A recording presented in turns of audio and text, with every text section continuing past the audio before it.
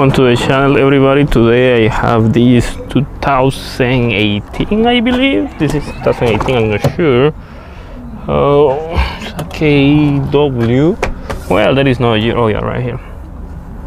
Mm, 2019 um, after the uh, uh, June is 2019 anyway it has a Cummins engine. And the problem that we're having is then um, is having blow by. So this is a very common problem. Ah. this is a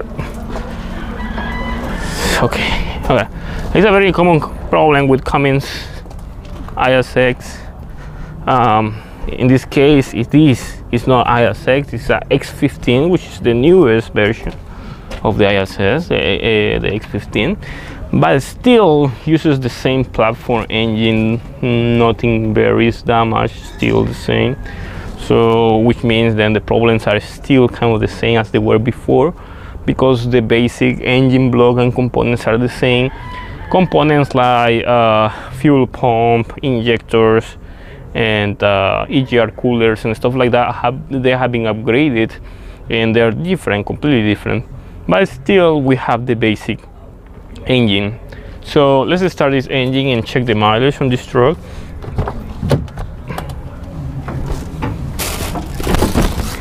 All right so it has 700,000 miles almost 800,000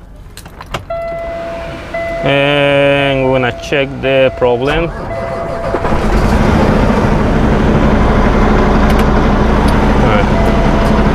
everything runs fine. The truck has no problems. It idles with no problem. Um, it doesn't have major uh, warnings um, on the dashboard. But it has the problem then it's consuming fuel I mean oil and it is um, having a lot of blow by. I'm just waiting oh yeah the, the fan went off so I was waiting for that so I don't get a lot of blow uh, air on my face. So the engine runs fine. It idles normally but uh, here see of pressure. And this is counting with the engine uh, not being hot. So the engine is cold still and uh, we have a lot of blow by already. The hotter it gets the more pressure it releases. It, it pushes the car see? Yeah see so the problem is then uh, we have a, a damaged engine. Usually the engine causes this problem, but uh, there is one thing that you have to check before calling a fault in the engine, um, and that is the crankcase filter. This right here is the crankcase filter. It has to be replaced. In this case, this is a new crankcase filter. It was replaced.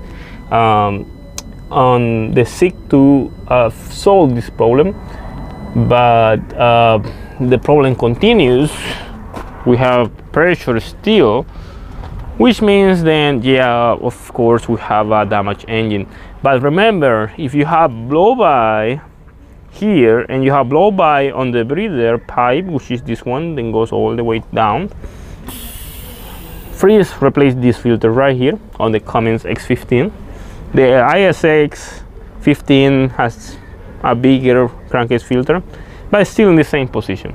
But freeze, uh, check this filter.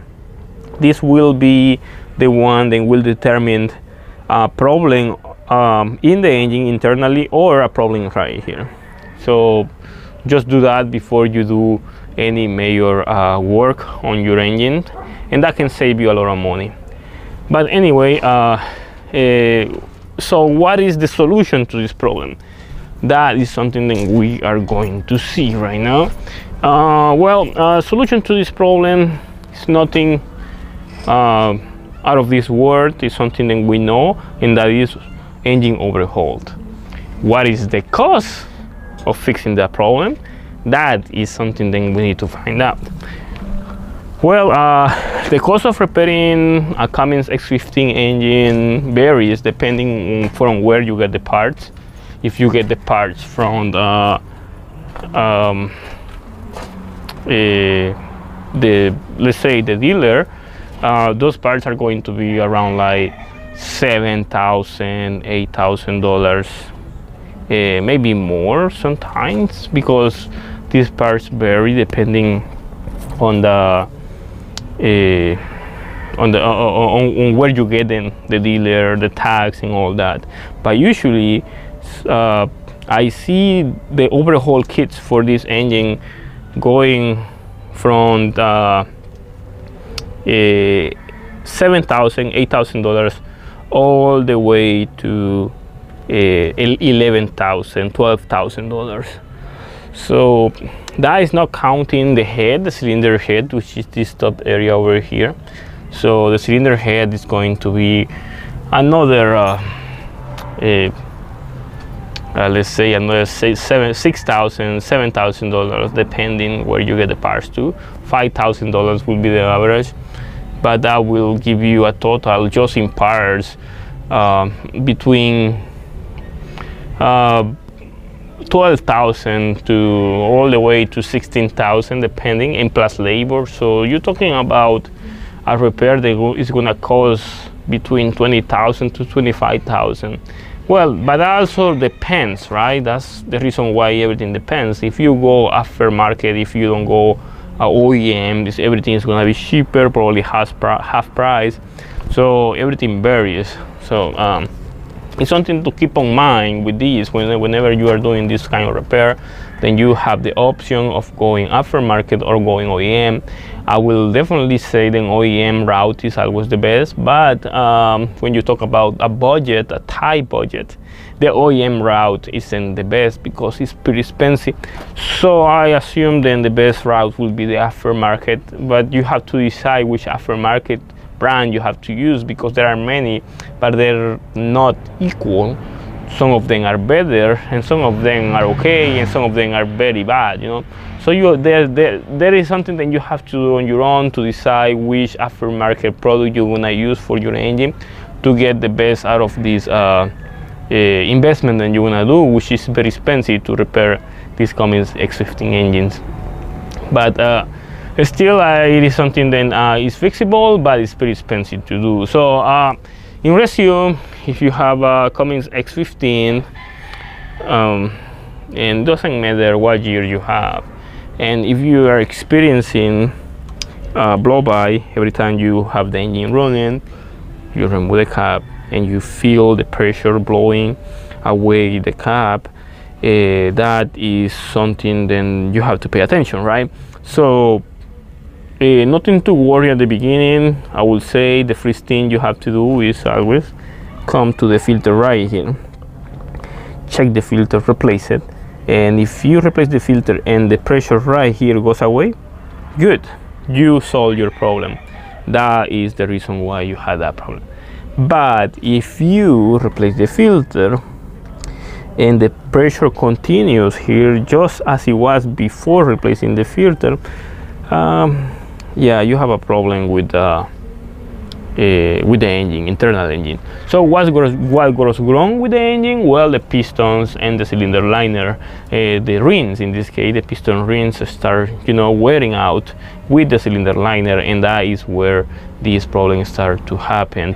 Um, the pressure starts to be released to the crankcase system, which is the bottom end of the engine, and the pressure has nowhere to escape except from uh, for the uh, pipe then comes from the uh, from the crankcase filter. And this this one comes from the top which is this one right here this pipe. So all the crankcase pressure goes all the way to the top. And then uh, the other pressure gets released from any other area which is the dipstick and the uh, cap and if the pressure is not released and uh, is not getting released uh, and the pressure keeps on building up the pressure is going to be released uh, from the gaskets. You're going to see a lot of oil leaking from gaskets uh, because the pressure is releasing especially when your problem is pretty advanced. In this case the problem is not that serious it's serious but it's not super serious. And that's the reason why the engine still runs and everything. But if you continue driving your engine like this it's going to go bad. So i think that it's very important for you to pay attention to this problem the sooner the better because uh, this will prevent many issues in this case because the engine we don't have any other problem with this engine just the pressure just rebuilding the engine just doing the overhaul kit and the cylinder head will fix this problem completely because we don't have leaks anywhere and, and all that. But when we have leaks in the front and the rear we have to fix all that when we're doing the overhaul and that's going to be super expensive.